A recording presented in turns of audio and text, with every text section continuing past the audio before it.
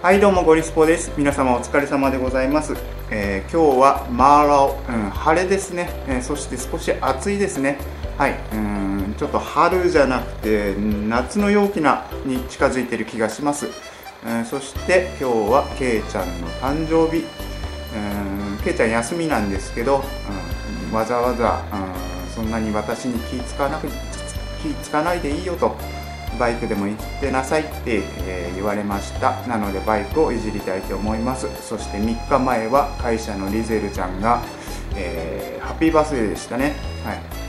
みんなのいる前で「ハッピーちゃん明日 my birthday。Happy birthday to you happy birthday to you つまりそれを歌えと。でそれを聞いてしまったゴリはなんかプレゼント用意しなくちゃいけねえなって感じで1000円のマスコットをプレゼントしました、えー、そして今日はいよいよ自分のバイク。うんマフラーですね。純正マフラー。白黒はっきりさせたいと思います。よろしくお願いします。はい、えー、忘れかけてました。液パのスパッタですね。これうんよろしくないんで取りたいと思います。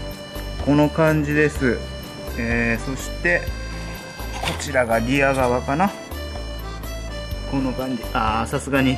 ちょっとアップにすると手ぶれがすいません。あと風切り音入って入っちゃったらごめんなさい。ひどいっすよね。このありさま、うん、そして連結管の部分もよいしょ。このかあ大丈夫ですね。一応、うん、もうひどいですね。で一応あれですね。タガネの要素も含んであるマイナスドライバー。これはハンマーではたけます。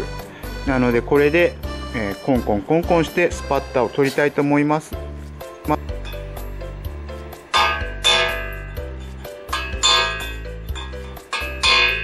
なんだこれ多分うるさくて絶対に動画にならないと思う、うん、ガンガンガンガンあの視聴者さんが頭痛くなっちゃいますからね。そして、えー、スパッタ取りなんて地味すぎて絶対に面白い動画になりません。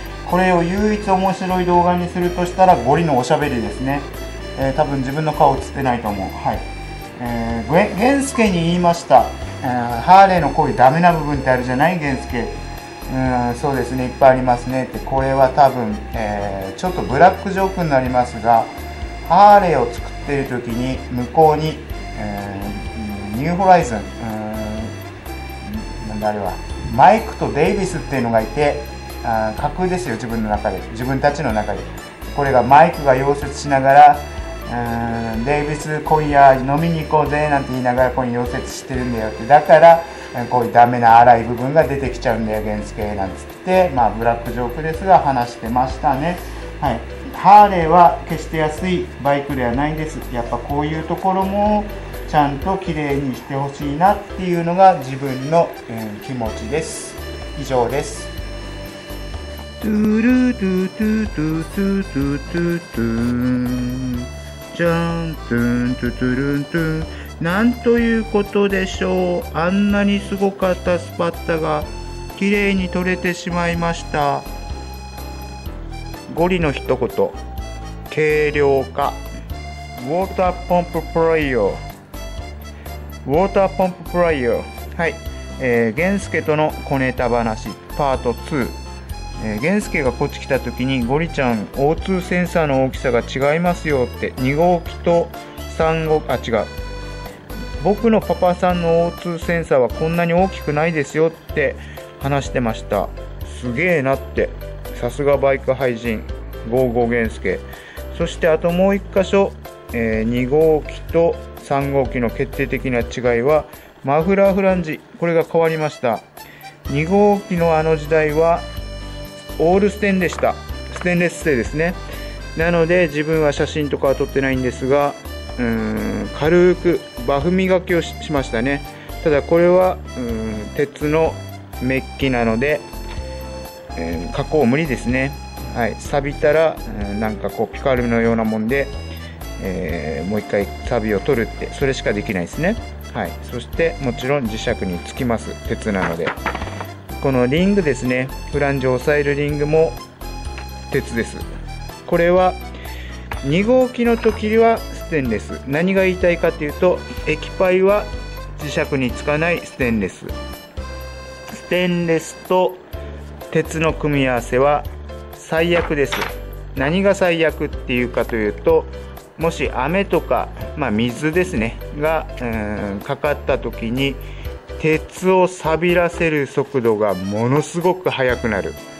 イオン的な、うん、あれですね。あどういうことかってうまく説明できないですか？できませんがとにかくイオンのようなものの効果で、えー、ステンレスと鉄をこのように置いて水をかけるとものすごい錆びるのが早いと。つまりは2号機の頃はステンレス。3号機は鉄メッキ。コストダウンですね。はい。そんな感じで。まあこれはこれでしょうがないですけどね。まあ小ネタでした。点点点点丸。えー、予想はしてましたがこのマフラーのステーこれを外さないと液パがつかないっていうことに、えー、なってます。なので結局は全バラですね。また一からやり直しです。マフラーステー取っ払い、えー、作業終了ですね、えそしてちょっと衝撃的なことを気づきました。うーんエンジンの内部ですね。こちらちょっとアップにしてみたいと思います。明らかに白いですね。本来は黒いはずですが白です。わかると思います。はい。こんな感じ。やっぱりインジェクションチューンは必要だなって思いました。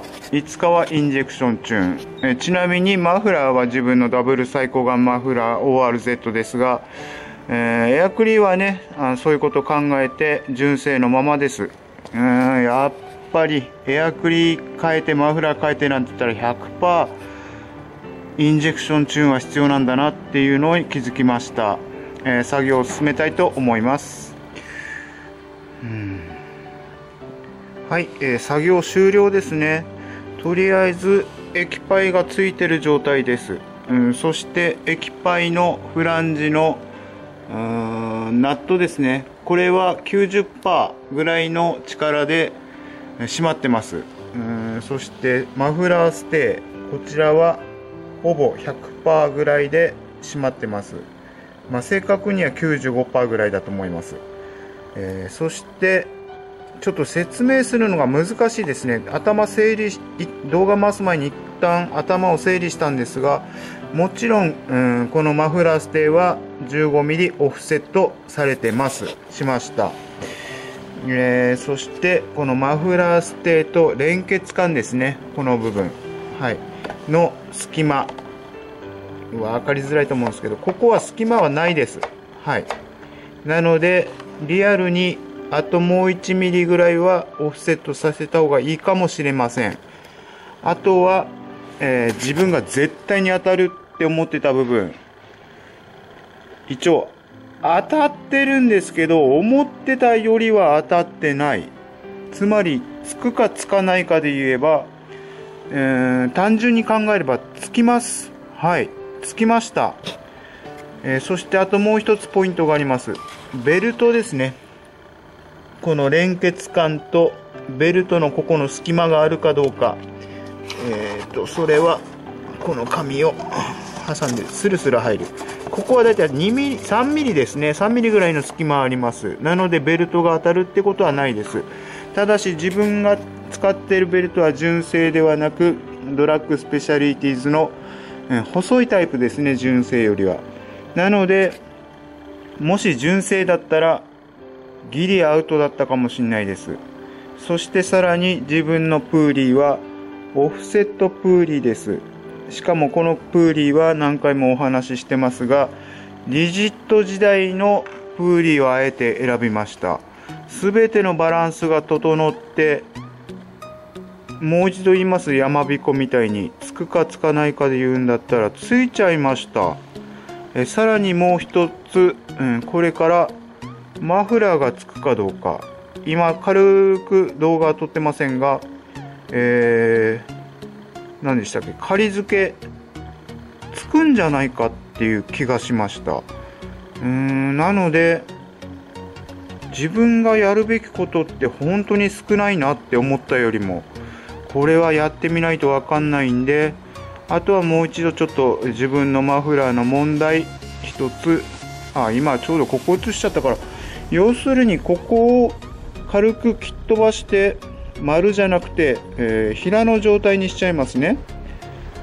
もちろん丸ですね。それを平の状態にして溶接平板を張って溶接で埋める。しかもそんなに大げさに半分半分までいかないですね。本当にちょっと。風が半端ない。ちょっと意外だな。どうに？今心の整理が。とりあえず今マフラーつけてみますね。つくかどうか。自分は思ってたのはここのエンドの部分を切っ飛ばして 15mm こっちにオフセットさせればいいんかなと思ってたんですがあ風が入っちゃう。風切り本入っちゃう。わかんない。で今マフラーとにかくつけてみます。あその前に自分のマフラーの問題点をもう一度撮影したいと思います。はい、えー、自分がヤフオクで落としたフルセット1万5000のマフラー。前回も前々回かな、うん、忘れちゃった。すんごいサビだと半端じゃないっすね。多分ここまで錆びるって絶対ありえないと思うんです。